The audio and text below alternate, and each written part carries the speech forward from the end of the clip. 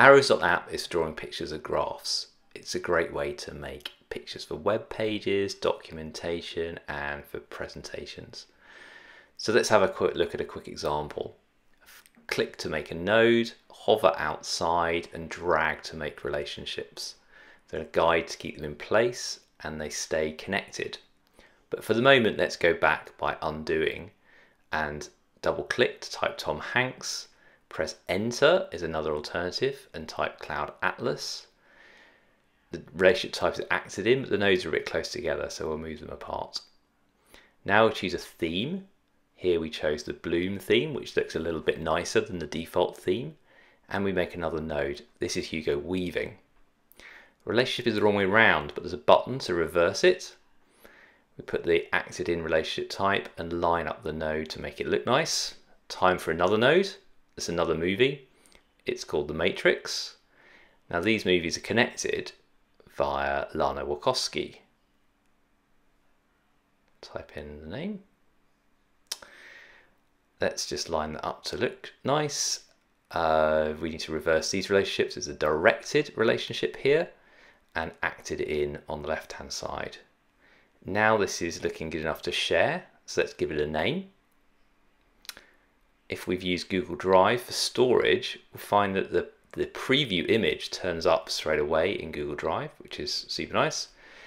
Uh, let's have a look at what we can do with the images. So we press the export button, we can drag to any drawing program, in this case Google, Google Slides.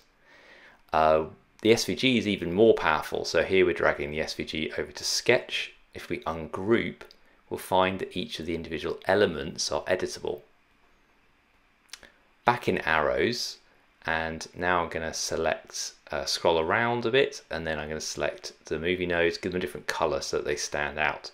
But that's not really how it works in Neo4j you can't store colors directly. So instead we use labels to distinguish different types of node. So I've selected all the people and given them the person label. Now let's do the same for the movies. They get the movie label. We can even have multiple labels per node, just like you can in Neo4j. So the actors get the actor label and the director gets a director label. Now let's think about these captions. They're not really part of graph model, they're very convenient, but let's turn them into properties instead. So here we've got the name and the title properties. What we see now is that if we go to Cypher, we get all those properties embedded in the Cypher. So it's a really nice way, a really quick way to create a graph in Neo4j. Another thing I can do is to resize. I can scale the graph so it looks nice uh, where I'm aiming to put it. And one, fi one final trick is that I can click on the relationships to select just the relationships so that I can change them all together or if I want to, get rid of all the relationships. So to recap, Arrows.app can make PNG, SVG or Cypher, and that's great for presentations, for docs, or for creating a Neo4j database. Hope you enjoy using it.